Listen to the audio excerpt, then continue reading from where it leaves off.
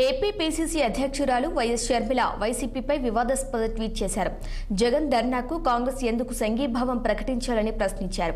Party ఉనికి కోసం ఢిల్లీలో కపట నాటకం ఆడినందుక వ్యక్తిగత హత్యకు రాజకీయం రంగు పులిమినందుక అని ఆగ్రహం వ్యక్తం చేశారు.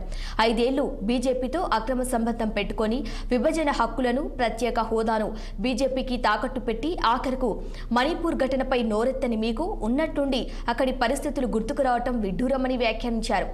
క్రిస్టియన్ అయి ఉండి క్రైస్తవులను ఊచకోత గురి చేసినా నోరు మెదపకుండా విపక్షాలు పెట్టిన అవిశ్వాస తీర్మానంలో బీజేపీకే మద్దతు ఇచ్చారన్నారు.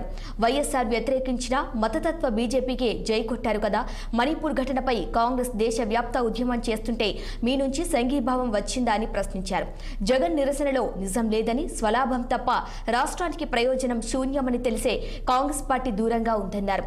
సిద్ధమన్న వాళ్ళకు పదకొండు మంది బలం సరిపోలేదా? ఇప్పుడు కలిసి పోరాడుదాం అంటున్నారు చేస్తున్నారని వైఎస్ షర్మిల ట్విట్టర్ వేదికగా తెలియజేశారు.